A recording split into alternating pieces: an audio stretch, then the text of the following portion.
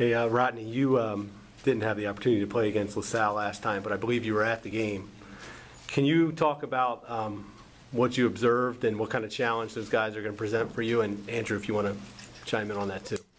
Yeah, um, La Salle's a great team. Um, you know, we definitely have a big challenge ahead. Um, they got, they got a lot of guards that can really drive the ball well, and uh, so we're gonna have to be able to guard and uh, guard our yard. And you know, they've obviously did a lot to get to get bye, and played well in conference play. So um, it's definitely gonna be a challenge.